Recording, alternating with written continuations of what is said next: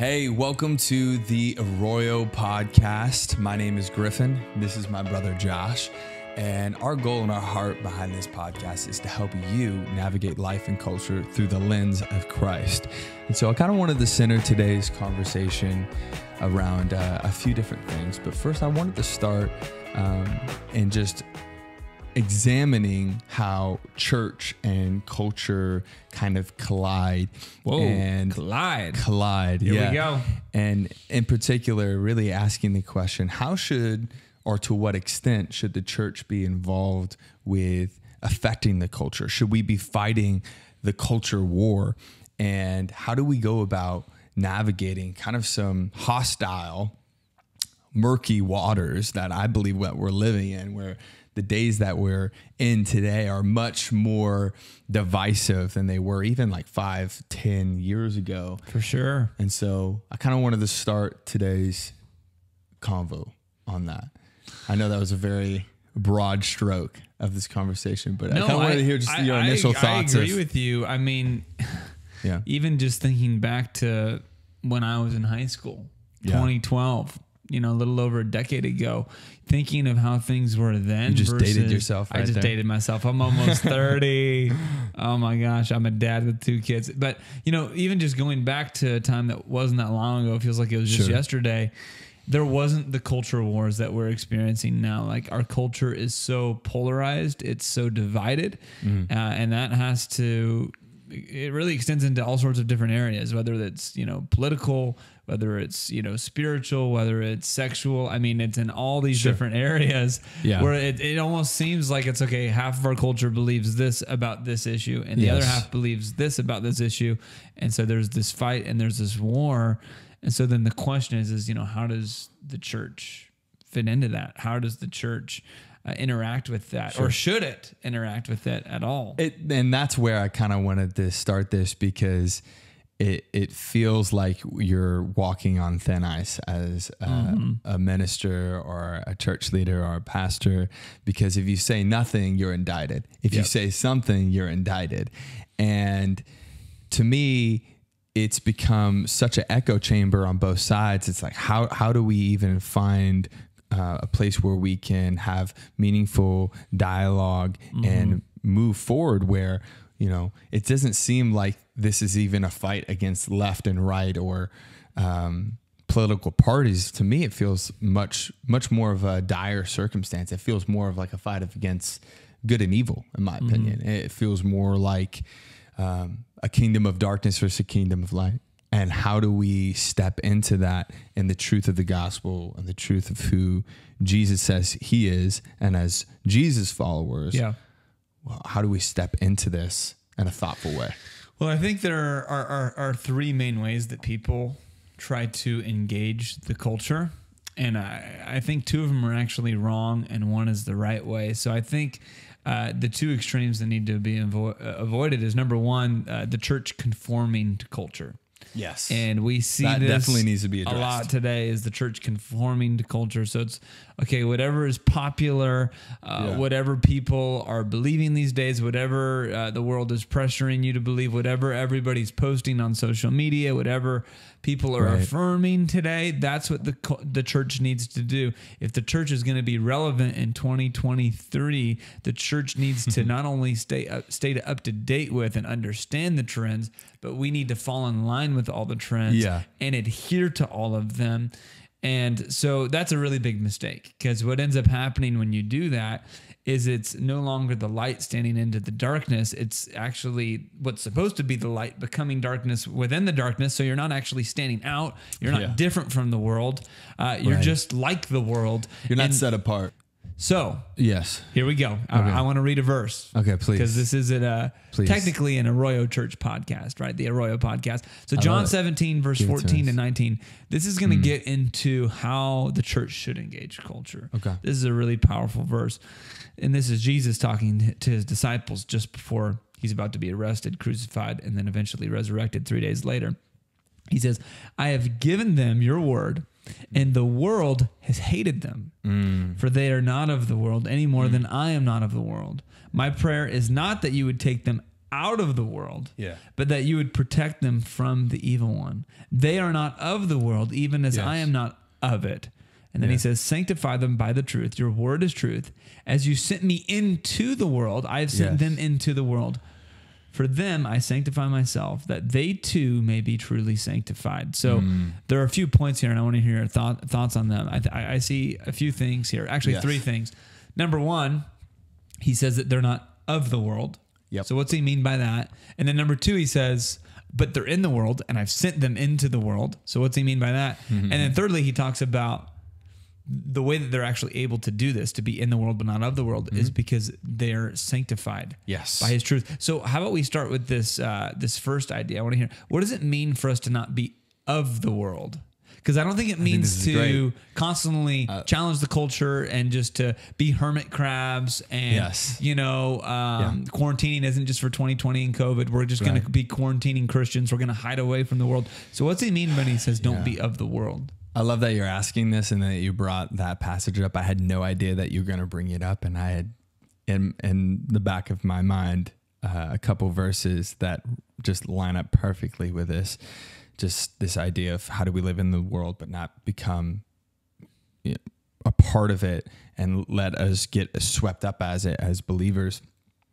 And just highlighted this verse from First John uh, chapter four says this simply: "The one who is in you is greater than the one who is in the world."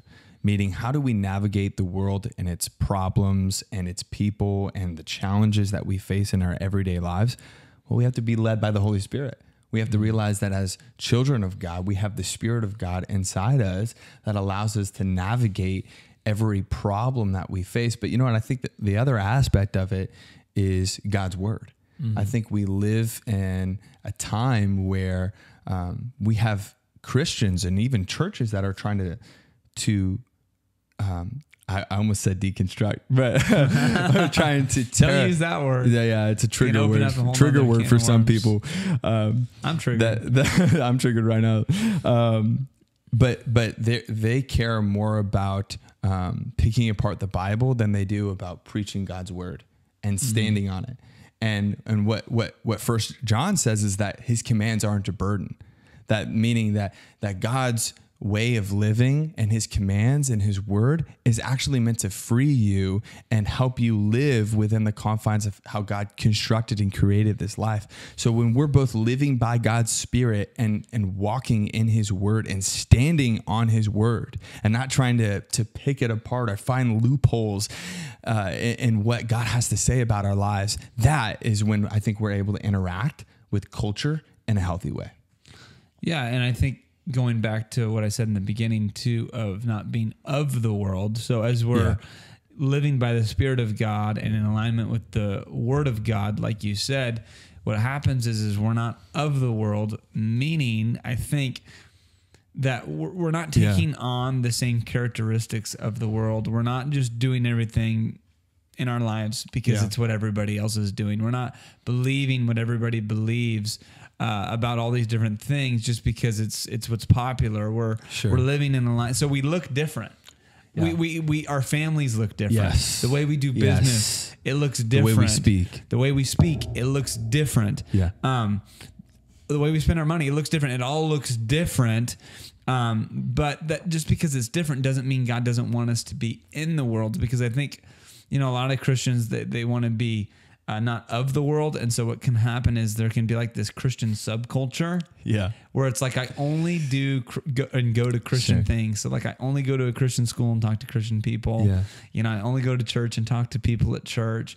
Um, I only watch Christian movies and like it's like I only listen to Christian music. Like only the only things I interact with are things that are labeled as Christian, and I don't think that's healthy. Because sure. you you might not be of the world, but then are you like Jesus said? Are you in the world on mission? Yeah. Because a part of what it means to be a believer is to not just be um, not of the world uh, and to have Christ-like behavior that's in contrast Mm-hmm. to the world, but also He wants us to live in the world on mission, which means which means we're interacting people, Yes. interacting with people, and we're, Yeah. we're we're we're we're interacting with them in such a way that they're able to see Jesus' love in us Mm-hmm. and how we act, and in the words that we say. Yes. I think that's really important. In fact, uh, the Apostle Paul writes in 1 Corinthians 9, and I'd love to hear your thoughts on this verse when it. he talks about, I became all things to all people Mm. so that I might win some for Christ. And I think that that verse Right. has a lot to do with what it means to be in the world on mission. Yeah. Because he's saying, This is how I do it, right? Mm-hmm. I become all things to all people so that I might win some to Christ, right? Yeah. So, what's that look like? I think that that's a really good question because I think that there is the line between compromise and um, relating to somebody Mm-hmm. so that you can build a bridge. I like that, I, that word relate. Really, because Yeah. because I can relate to you Mm-hmm. and seek understanding and become interested in who you are and your story without compromising my my viewpoint and my value system Mm-hmm. Right and and that's a part of the problem is that we live in a culture of compromise Mm-hmm. and a culture of we care more about the feelings of of people than we do about Mm-hmm. Let's, reality let's do an and exercise truth. here. I think this might be a good exercise. Sure. here. Let's pick a specific Okay. topic, or let's get really specific here. Oh, specific wow. topic or area. I don't know if you have one on the top of my mind, and let's categorize it. Yeah. Um, if as we look at that area, how do you relate at that level to that topic without Mm. compromising it? So, how should the Christian relate Yeah. to social media? Because I think that uh, I've seen some people say, "Oh, uh, social media is of the devil," or Mm. "I can't be on it, so I'm just off." You know, I- I've actually seen increasingly more Christians do that, and I think that Get off of social just- media? I'm off it completely. Yeah. I'm off the grid. And I think there's a time and place for that and Mm-hmm. taking breaks for it. And then there's also other Christians where it's like, okay, you're on it every single second of the day. Yeah. And so, how do you think a Christian should interact on social media? Should Christians be on Yeah. social media? What, what should that look like? well, I think This is really important for 2023. It's I mean, I don't feel like I a lot of people talk about how do you interact on online as a as a there believer. are two parts to it. I think in, in my mind, the first part is are you being consumed by it or or are you making a difference through those mediums? And are you a creator or are you a consumer? Because Mm-hmm. if you're just solely a consumer, I, I wouldn't say don't consume. I would say Mm-hmm. be careful about what you consume because your feed, your uh, for you page, um, Mm-hmm. and whatever social media you're on, whether it's TikTok, Instagram, Facebook, for you older folks, um, Yeah, no, it's true. Fill in the blank has a great influence on you. yeah, it does. And so, what you Mm-hmm. fill up your mind with affects your heart, and your heart affects the way you live your life, and because everything flows from that place. And so, Mm-hmm. Yeah. I just Proverbs says, Yes. guard your heart. Guard your heart. For from it Yep. flows the wellspring of life. Exactly. And so I just think there, I would say be careful about what you're consuming. And if you're Mm-hmm. consuming too much, it's better to, to maybe cut off for a season Yeah. so you could reapproach it in a healthier way. And then also consider how you could create good Mm-hmm. influence. Man, we need better, we need more influencers that Christian are influencers. Christian influencers that are less Yeah.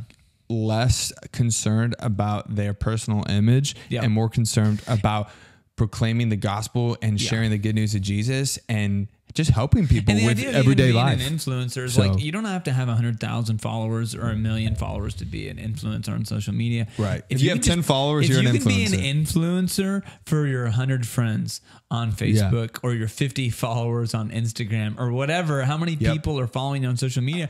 If you post a verse or share a story of how God has changed your life or whatever, and it doesn't mean that like all the content you post has to be overtly Christian. Like we're not saying that. Yeah. Like if you want to post a picture of your cheeseburger, whatever, that's great. You want to post a picture of your kid or your wife or the vacation you went on, awesome.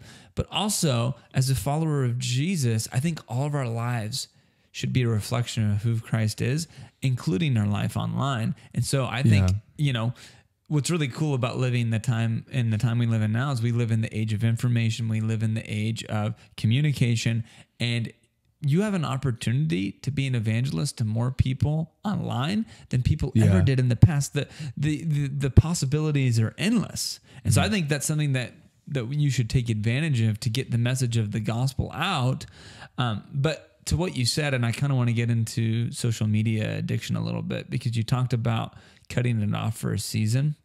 And uh, it reminded me of what Yeah. Jesus talked about when he said, you know, if your right hand causes you to sin, you Yeah. know, cut it off. Yep. You know, if your eye causes you to sin, pluck Right. it out. And obviously, Jesus isn't saying we should be, you know, lopping off limbs and hyperbole. Pl- he's he's hyperbolic, but what he's saying, if there's something in your life that's causing you to stumble, take it out. So maybe I'd love to even hear from you personally, because Oh, wow. you've I think gone through interesting times in your social media journey because you've had a lot of followers on TikTok and you still do like over seventy thousand or something like that, and you had a lot of traction with that and Instagram and different things and you've had times in your life I know where you were really in it to the point where maybe it was unhealthy for you Sure. and then you took breaks and then I think you've had times in your life where you had a more healthy interaction with it. So here share Yeah, more I'm of not your here story trying to flex or anything. No, or, I- there well- are people that have way more Oh, influence totally. than I do, and that's kind of like a micro. Yeah. Um, but I yeah, I've ex- I guess I've experienced enough to say that uh, it's super addicting, Yeah. and there are a lot of I guess my kind of a different rabbit trail, but back I'll get back to your um, the heart of it, what you're saying. You know, I think my biggest concern is the younger generation Yeah. that is is being Mhm. influenced and deceived Yeah. by uh, quote unquote influencers Yeah. that have a way of living or different lifestyles that Mhm. they've made normal or Well, um, can we just hit a pause button here? Sure. Yeah. If you're more influenced yeah. by Uh, non-Christians I was on social media I was gonna say than you are by Christ It's a through the word of God, that's a really big problem. It's a problem. That's a yeah, big It's normal. But see, just because something's normal, that in the world, that doesn't Yeah. mean that it should be normal in the life of Yeah. a believer. We're, we're called to be set apart and distinct. Well, in the world and not of it again, right? And Right. so let's get back to how that how does that work out on social media, right? To be in social media, to be on social media, but not to be of all of what happens on social media because there's some pretty dark, nasty, sinful things that Yeah. happen on social media. Yeah. And again, we we don't want to be the Yeah. I can't believe that happens in the world Christians. Like, yes. The social media is a it's a microscope into society. We could see closely uh, things that were happening before, but we could just see them at a global level now that we have social media. And so it's it's showing and bringing to the surface what humanity has always been, which is broken and sinful and um and and and it's given more opportunities to maybe be rebellious in ways. And and and so I I think kind of going back to are you being consumed by it? Mm-hmm. or are you being an influencer Yep. on it? And Yeah. uh, meaning like do you have the ability to say no mm-hmm. do you even have the ability to delete an app yourself mm-hmm. and and go throughout your day without scrolling or Yeah. and even just taking inventory and auditing the people that you listen to like mm-hmm. who who who do you listen to on a weekly I've basis found that isn't Yeah. being more angry when I'm listening to people Sure. frequently that are angry. Yeah. yeah It's not good. It's, It's not, not. good. My wife No. doesn't like that. Yeah, so I think it's good to to really filter. it affects you way more than you think to and reading and all of those things. Um, because people don't read books as much Right. these days, but they're constantly reading tweets. They're constantly reading people's posts, like all of. but we can't stuff. escape it because and this is why we're doing this podcast right now because Yeah. we want we want to be a This is part a way of being in the world. we want to be in it we want to we Yeah. want to speak into it Yeah, um, and we want you to too. So, yeah, and and to give a a godly perspective, a Christ like outlook on life's problems and Mm-hmm. what people are dealing with. Yeah. But yeah, I don't know. Do you have anything to add to that? yeah, there? I mean, I just I, we kind of already mentioned this a little bit, but I would just say if you're listening and just practically speaking, if you find yourself like addicted to social media, like that's a real thing. Like you're not able to say no to it. Like you're constantly on it all the time, and like you always have to have your phone around you. Like, you know, and listen, I'm not speaking down and condemning because honestly, No, like my wife gives me a hard time about this sometimes. yeah, and uh, I kind of have to check myself. I have, to, I have to check myself. And so, you know, I think a healthy way to go about it is cutting your, yourself off of it for a season, like you said earlier. Sure. And then, you know, one of the things my wife has really pushed me and challenged me to do, which I still don't do this perfectly, but okay, get off it. Like I was off of Instagram. I went on back onto Instagram like a little under a year ago, but I was off it for like five years. Hmm. And I was off it because honestly, it was just something that wasn't a priority for my life at that time. And Yeah. it was something that I just didn't feel like in that, in that season of my life, my, my wife wasn't comfortable with it Sure. at that point. Just to be honest, she wasn't wanting me to, to be on there. And we kind of got to a point where it's like, okay, you can go back on it, but we have to have boundaries. There has to be Mm-hmm. guardrails, what you can do and what you can't do on Instagram. So you're intentionally being, like you said, uh, Yeah. you're being a creator. You're being somebody that's adding value to other people's life, but you're not being Yeah. consumed by it. You're not purely a consumer. So I would say is if like you feel like you're being um, influenced by social media in a bad way, or maybe you're addicted to it. I think it doesn't have to be five years. That was a really long time, but pull away Take the next half for maybe a month. Yeah. you know, and during that month, do a cleanse. And then come up with some, you know, maybe just some guidelines of Or like, maybe there's just some people you need to unfollow yeah, that you didn't even realize how much they were influencing you, the way you think, the way you behave, the way you treat other people. But as we're talking, you're like, whoa, yeah. I'm I'm realizing there there's a much deeper effect that's going on that Yeah. it's it's altered some of the ways Mm. that I've thought.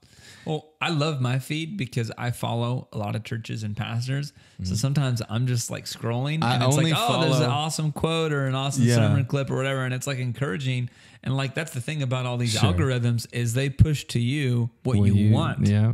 You know, and Yeah. it's almost like, hey, you want to know your character? Just look at what they're pushing you because uh, Yep. they're giving you what you want. Uh, Right. They're smart, right? So uh, if they're pushing a lot of bad stuff to you, it means you're probably not watching good stuff. So, um, but yeah, I think that that's some good stuff on social media. I don't know any other thoughts. Well, I don't know. I think we? I think we we started this this dialogue on Mm-hmm. the premise of how do we interact in culture Actually, as we- Christians? I feel like we'd be really. I, this just came to my mind. sure, yeah. Cancel culture.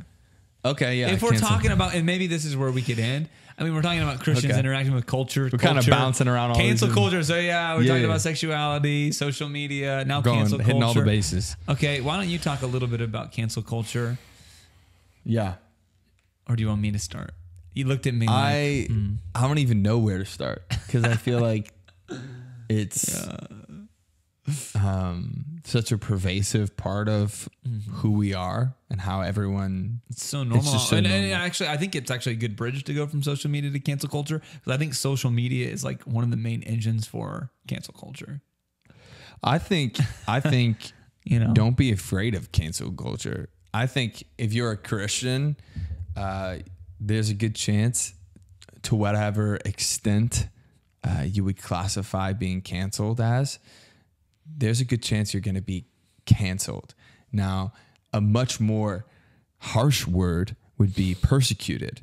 And when you think in light of what some other Christians are going through in other countries are and even in some places in our in our country but to a greater extent other countries in the world what how they're being persecuted for their faith yeah, people are getting their heads chopped off. They're getting tortured. They're getting Tortured, killed. yeah. they're having family members killed. They're being they're having to operate in underground churches like Yeah. they, the stakes are so low here I do not care if you cancel me Yeah, for my faith. I really could care less. And I, I, I used to not be able to say that. yeah. I think that's a good I- attitude to have. But then also we want to like not just get canceled because we're careless. You know, Is is being canceled a badge of honor with where our See, culture I, is at? I don't think, because it, yeah, I don't think it's something that we should aspire to. No, it's- I I'm think not we saying need that. to, yeah, just you know, grace and truth, like I was saying Right. earlier. And then if we get canceled while speaking the truth in a graceful, kind way, so be it. But if you're speaking the truth and being a jerk about it, and you get canceled. I don't think that's you being Christ-like. I think that's you being a, a dummy. okay, can we shift gears? Well, uh, from cancel culture, It's I got more to say about cancel okay, culture. okay, okay. What were you because? I, I think it's I, I think that much of cancel culture is it points to people's desire for justice for when somebody does something Mm. it's a false sense of just justice. and I think that the sense of you know in the desire of wanting justice is a good thing because God is a God of justice. You know, Sure. God uh, punishes people that do wrong, and that's ultimately why Jesus says justice to. belongs to the Lord. Yeah, that's why Jesus had to go on the cross because the whole point of the cross is he's taking Yeah. on the punishment that we deserve in our place and rising again three Right. days later so that we could be forgiven and free so that our debt could be paid. So God's a God of justice. Justice is a part of the gospel itself. Uh, God says that all government and all law enforcement is actually over his rule and reign. And Yeah. so he's a God of justice uh, in regards to the gospel. He's a God of justice in regards to even practically speaking with uh, the the law enforcement and you know the the civil system of uh, Sure. the world that we live in. So I think justice is a good thing. Yeah. Uh, the point is is where it goes too far is it's okay. You did something wrong. Now uh, we're gonna Or look at something, something that you disagree with. some, something that you disagree d- disagree with me on, or something you did wrong ten or fifteen years ago. I pulled it up. You posted Yeah. it on your MySpace page when you were in ninth grade, and you said this thing that is really mean. And because of that, now fifteen years later, we're gonna wipe you out, and we're gonna just take you out, and we're just gonna make sure you lose your job or lose your money. That's not right. God's a God of grace he's a God of justice, but he's also a God of, of grace. And I think honestly, uh, a lot of cancel culture needs to be canceled because God's a God of, of second chances. That doesn't mean that people shouldn't Sure. be held accountable. There are people that do things wrong and they need to be held accountable for their actions, and there needs to be Yeah. consequences for their actions. But also, let's not be so quick to grab the stone and throw it either. You know what I'm saying? Absolutely. And I think that's what cancel culture is. Is it's saying, "Oh, you did this. We're going to grab the stone and we're just going to chuck it at your head as fast as we can and as quick as we can because we're ticked off at you for what you did or said." And I don't think that's right. I think uh, we But need to extend think- grace. But don't you think that the current state of cancel culture has infiltrated the church Absolutely. in a way that it's caused them to uh, say no to talking about certain topics and parts of scripture for sure. because they're afraid of being Sure. canceled by a certain group of people? For sure. I mean, yeah. And don't you think that's cancel part of the culture problem? is very powerful and it creates a culture of fear within people because now it's like you're stepping on eggshells because you don't want to be canceled. Mm-hmm. So I mean, and that goes back to what we were saying earlier about you know, are you going to please God or are you going to please please others, and you got to make that decision who's more important to please. Yeah. Both of those decisions have consequences. Yes. Because if you live to please the world and you live for the world, you're turning away from God and for, you're turning away from relationship with God now and into eternity. And then if you love God and if you live to please Him and follow Him, it's promised in Scripture Yep. that you will be mocked and scoffed at by the world and persecuted. Yep. Persecution is a promise Yeah. for every believer at whatever context that is and whatever context you live in.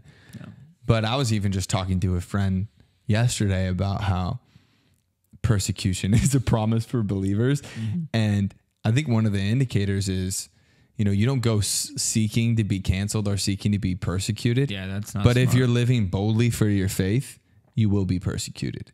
yeah, And it's To some level. It's a- to some whatever. uh, That's why I said le- whatever context level you're in. That's what I'm saying. Is like whatever your context is, right? yeah, Um, and so I don't know. I think that's important to note. Like, because Mm-hmm. if you're not, let me ask you this question: If you're not being persecuted, or you've never been persecuted, should that be a red flag in your faith and your walk I mean, God? it's at least a yellow flag, if not Right? a red flag. Maybe it's an orange shouldn't flag. shouldn't you ask yourself? I mean, if you've been following Jesus for one month, I wouldn't say that's a you know whatever you know because you're starting out. But I think, yeah, I mean, if you've been following Jesus for a fair amount of time and you've never experienced any opposition for your faith, like, do Yeah. you have a genuine faith, or is your faith just really immature?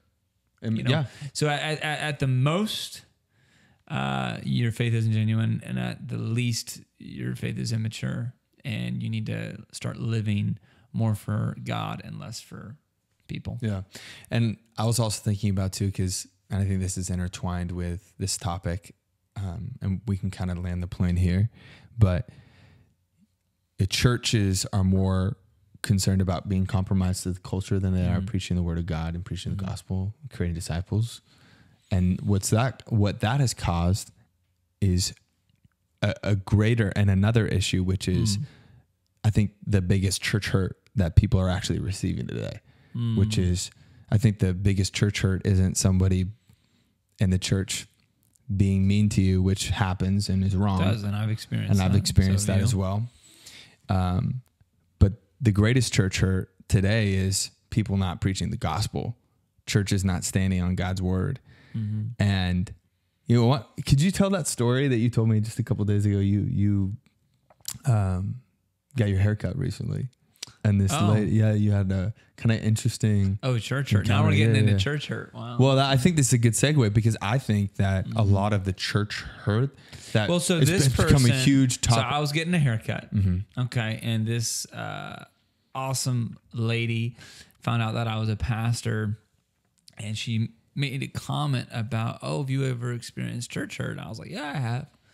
And she asked me that question. I was like, "That's a really interesting question." It's become a me." topic of conversation. So then the I was like, "Well, what about you? Have you experienced church Yeah. hurt?" And so she ended up pouring her whole her whole heart out Yeah. to me. And you know, earlier we were talking about churches that only challenged the culture and Mm-hmm. churches that only uh, conformed to it. She was at a church that constantly challenged the culture. Yeah. And so what they did, you know, she didn't get into the specifics of what was going on in her life. Right. But she said that they saw something in her life and said that God had put curses on her life and that those Oh curses could never be lifted. Uh, Yeah. And they basically ki- they kicked her out of the church. oh my goodness. And uh, she had just Wow. started attending the church, and that was the first time she was 35 when this happened. That was the first time she attended church since she was seven years old, and it was a smaller church. I well, I asked her. I said, "Was it a smaller church?" And uh, she's like, "Yeah." And I said, "Well, that's why they're really small because that's, why how they small. treat people, Right. Yeah. and they're never going to grow Yep. because uh, they're not loving, they're not kind." And so that was a church that just constantly Yeah. challenged the culture and constantly challenged people and said, "Oh, what you're doing is wrong." You're a sinner. You're a terrible person. You're condemned. Constantly throwing Get out of here. Yeah. Right. And they're a lot more like the religious uh, religious leaders that Jesus constantly butted heads with rebuked. that thought that they were righteous because of their own deeds and were looked down on others and Yeah. thought they were better than other people when really they weren't.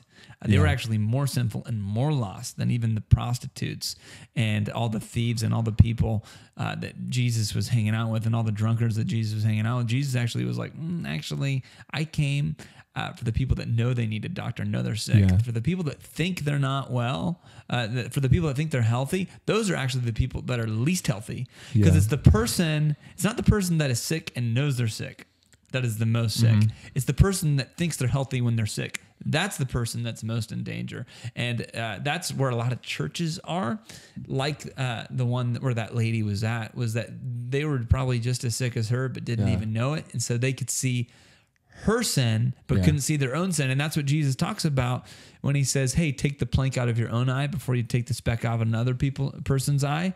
I think uh, it's very easy to see other people's faults Yes. before seeing your own. Yeah. And so she was at a church that I think they had a big plank coming out of their eye, but they saw the speck in hers and they pummeled her for Yeah. it and they canceled her for it and they kicked her out of the church for it. And so she came to a place where she rejected Christ, she's rejected the church.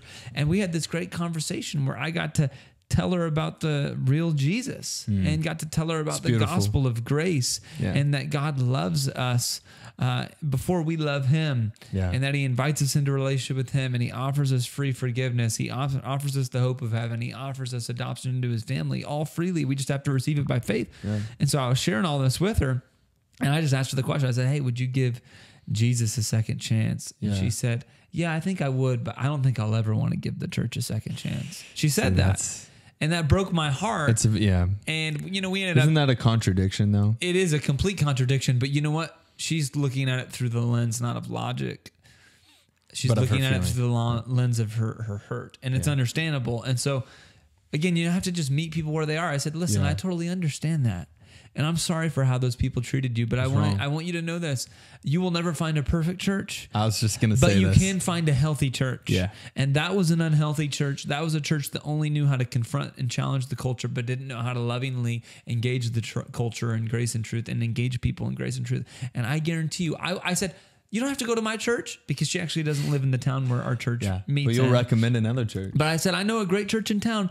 Yeah. And, uh, you know, we were leaving and she said, Hey, please come back for a haircut soon. I want to talk more. I want to ask you more questions. And I said, Hey, I'll be back great. See you as soon as I can. I said, I don't grow hair, grow hair that fast, but when I do, I'll come back and we could talk more. I said, But before you do, you know, and I recommended her church in the town she lives in. Mm. Yeah. And I said, Listen, I know they're not a perfect church, but they're a healthy church. And I know for a fact, 'cause I know the pastor and I know people there. They won't treat you the way that church did. Yes. And it was crazy. She said, actually, that's the church my boss goes to.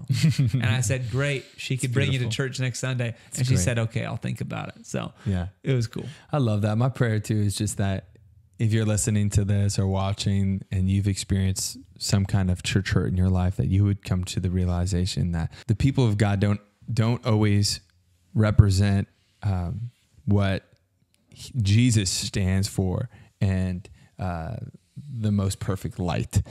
And um, I think along the way, it's like it's church is messy sometimes. Man, if I if I let all of my church hurt prohibit me from living me in too. the call that God has for my life, I would have quit Yep. Four years ago. Me too. I'm really thankful that my too. faith doesn't rest on people. It rests on Christ. Yes, because my ultimate joy and my ultimate calling rests on who Jesus is. Mm-hmm. Doesn't matter what the culture says. Doesn't matter what kind of hurt I've gathered in the church. Because you know what? Ultimately, Yeah. love covers a multitude of sins. Yeah. And even in our relationship, uh, in any relationship, Yep. there there are always going to be faults and hurts and sin and brokenness, and how we deal with that Yep. in healthiness and covering each other, covering offense, covering love, not not sweeping it under the table, Yep. but in in truth and love. Well, here, here's a good place I think to end on what you Yeah. just said, talking about the church hurt. I think the real, reality is this culture is always going to change. culture isn't static. Culture is always changing. yes, Uh, the people within the church and people within the world are always going to be changing. Mm-hmm. Uh, there's going to be people and trends and all sorts of things that go up Yeah. and down and this way and that way. But the good news of who God is is that his faithful love endures forever, that Jesus Christ is the same yesterday, today, and forever. And as we engage a culture that is constantly changing, let's do that with the belief in mind that God never changes, His truth never changes. Heaven and Yeah. heaven and earth pass away, but His word never passes away. The Bible says, and His love never changes, His truth never changes. So let's rest in that truth as we engage a culture that is always changing. That's perfect. That's great. Well, hey, we love you. Thank you so much for spending some time with us and listening to the Arroyo podcast today. And wherever you're at, we hope you enjoyed it, blessed you. And if you could rate, review, uh, send it to a friend Only if it's five stars, though. you. Don't, yeah. don't review it if it's Don't give us a four five. star. Yeah, yeah, no four star. But yeah, we appreciate it. We love you guys. Thanks for listening. All right, see you next time.